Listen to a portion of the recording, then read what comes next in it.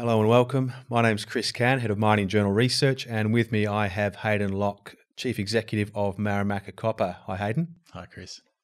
Marimaca released a PEA on its namesake uh, copper project in Chile in August last year.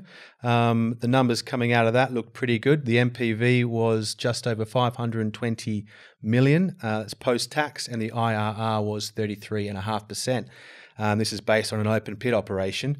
It also published some uh, interesting uh, regional interpretation of the geology um, that suggests there could be a lot more to come, um, and uh, and we have asked some questions around that in an associated podcast. Um, today, we want to just talk about copper, though. Obviously, investors are looking at copper options, and Marimaca is one of those. Um, so, looking at getting leverage to the copper price. Um, at the moment, it's obviously on a massive run. Um, how much of that, Hayden, in your view, is due to um, circumstances and stimulus, uh, government stimulus specifically, um, that's just around you know the, the past few months, and how much of it is a longer term trend? Do you feel? I think there is a definite recognition that there's a long term uh, trend and change in or future change in the global economy that's going to be very positive for copper.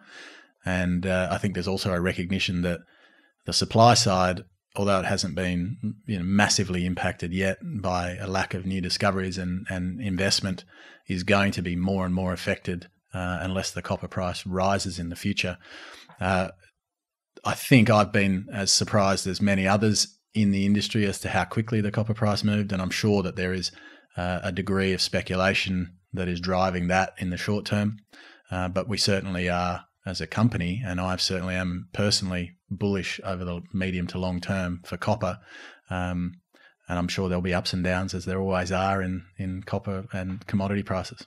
Okay, I mean, looking out to say just this year and the copper pricing, um, some of the mail that we're getting across our desk suggests that end users, consumers that are looking to do their own stockpiling are sitting back. They see a lot of froth in the market at the moment, and they're probably waiting for levels around six and a half thousand bucks a ton, um, which they see in the second half of the year. Is that something that you can see as realistic, or are you are you more bullish for um, this short term period? Oh, I've got no doubt. Uh, you know, always when you see uh, and think of the the consumers being trying to run a manufacturing business with an input price that's gone up, uh, you know, 30, 40 percent uh, over 12 months, I'm sure that they're sitting on their hands and hoping for a pullback. Uh, whether it happens is is anyone's guess, but I'm sure if if demand starts coming out of the market, then then there will be some weakness in the price. Um, so, what are we expecting for the second half of the year? You know, we haven't really given it that much thought because it doesn't impact us uh, on a day to day basis at this point in time. Um, over the medium to long term, which is probably more important for us, we would expect us to see uh, copper prices stay above that level.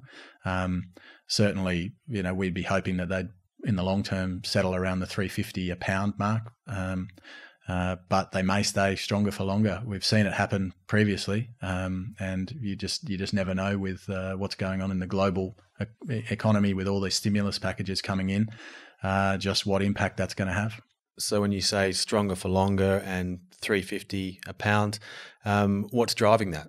Uh, well, overall demand um, as you're changing into this decarbonising economy. I think the the the general consensus is that the uh, the decarbonisation, electrification of the world is definitely here to stay. And uh, the own, you know, really, if you look at it from a decarbonising perspective and what can actually conduct electricity, your choices are aluminium or copper, really, or maybe silver. Uh, well, silver is incredibly expensive, uh, and aluminium has a very high carbon impact. So, what does that leave? It leaves copper. So, copper is going to become incredibly important. And there's been quite a few people who are a lot smarter than me writing notes about the future of copper as one of the most important commodities uh, in in the future economy that we're going to be pushing forwards. And I think in the short term, it's being driven by supply disruptions. And so we're seeing, uh, you know, in the world's biggest copper producer, Chile, there are disruptions that are being occur- occurring as a result of labor, which we've discussed in a previous uh, podcast, uh, but also. Uh, you know, a, a, general lack of new projects coming into production. Um, there will be a wave of uh, projects that come in in the next couple of years, but in in the medium term, the cupboards are pretty bare unless the copper price goes up. You mentioned some research notes um, coming out. Something that we saw recently from Goldman Sachs um, suggested that uh, copper was the new oil I think that was the headline, um, and that uh, prices of around fifteen thousand bucks a ton were on the horizon. I mean, is that ridiculous? Uh, well, I'm obviously the people at Goldman Sachs are a lot smarter me, smarter than me, and so who am I to argue with their uh, pontification about where copper prices are going? Um, it, it, I think if that occurs, then there will be a lot of new projects that can come into the market, and and I'm sure that will eventually have an impact on price. Um, you know, I think we're not planning for that scenario. Our plans are more around a, a, a you know a sub four dollar a pound copper price, and so we certainly make all of our decisions based on that at this point in time. Um, and I think the benefit of this project is it's low capex and it's low operating cost means we really are not driven by copper price in terms of our decision making process uh, to take this project into development. Um, obviously, it's nice to have a higher copper price because we make more cash, uh, which we can return to our shareholders. But the decision making process is less impacted by the uh, by the those sorts of notes that have us all dreaming about what it could be. And what about the labour issues that you talked about? Um, throw in there declining grades as well. Um, you, we're talking about higher prices will therefore necessarily be required to um, bring lower grade projects um, on you know in, into the into the stream. What kind of levels do you see um, with that supply demand balance um, what, what, where do you see things settling out, say over maybe two or three years when you guys are looking to come online, and then maybe projecting out further if we uh, if we take it as read that you'll find more uh, more tonnage and and Marimaca and that region will be producing for a lot longer. Yeah, it's an interesting thing the incentive price for new mining projects because the to start a new mining project the incentive price takes into account the return on investor capital but once you've sunk that capital uh, and you're in production and you no longer have to worry about it, then what matters is how much are you are you profitable on a year by year basis. And so to get the projects into production requires one copper price, but once they're in production, and assuming they have a long mine life, uh, then the then the break even price is different. And so, you know, I think the incentive price to get a lot of copper projects is certainly higher than uh, $3.50 a pound copper.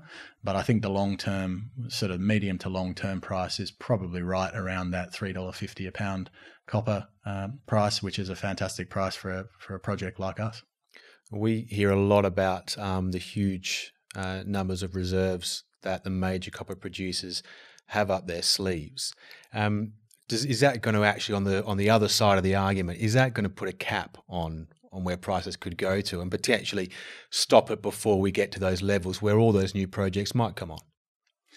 Yeah, I think that that's been history has shown in in many commodities that uh, when you see a huge spike in price, uh, you see a lot of new projects coming online and racing to get into production, and that naturally has an impact on on the overall uh, strength of the commodity price. And once they're in production, everybody holds on by the by their fingernails to stay in production, um, and so that it'll certainly put a cap on it. But we've got to take into account that there is a strong demand thematic coming through already, and it's going to accelerate, we think, in the next couple of years.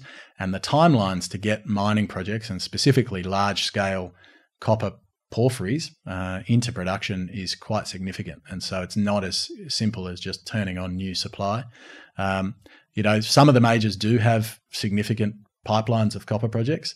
Uh, so Anglo American has a has a great pipeline of copper projects. Others don't. Like Rio Tinto has very few. And so, you know, really, I think uh, there are certainly new projects that can come online, but uh, there's not that many in the hand. There's not many many brownfield expansions that can really uh, step up to meet this uh, new wave of demand that everybody's expecting um, over the next five six years. Hayden Locke, thanks very much for your time. Thanks, Chris.